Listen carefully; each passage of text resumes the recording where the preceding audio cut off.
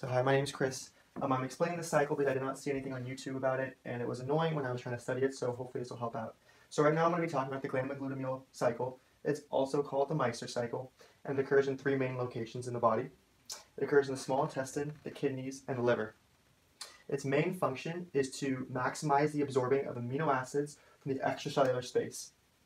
So this is within the glomerular filtrate, this is within the proximal lumen tubule, proximal tubule lumen, and it's also for xenobiotic detoxification, which primarily occurs in the liver. So now I'm going to walk you through kind of how this process works. So I first have glucosylglide, which is commonly referred to as glutathione, but it's broken down into three amino acids, glutamine, cysteine, and glycine. And we're going to start the process off with glutathione molecule there completely. This then goes to the surface and interacts with a specific enzyme, gamma-glutamyl transpeptidase.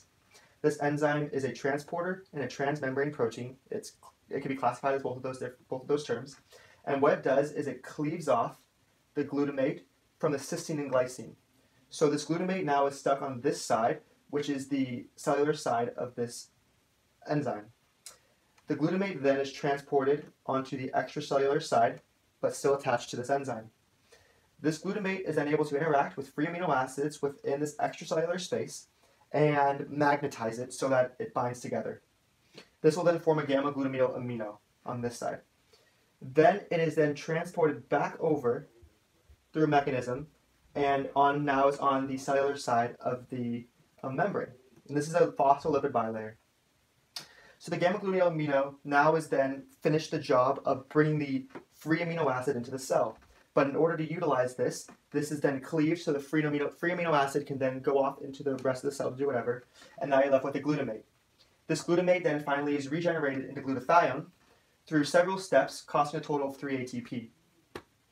That's pretty much the gamma glutamyl cycle. Um, if you have any questions, please leave it in the comment section below.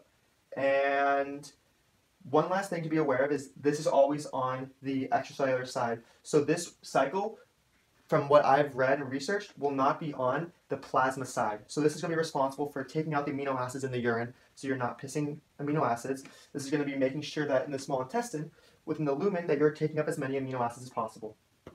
Hope that helped.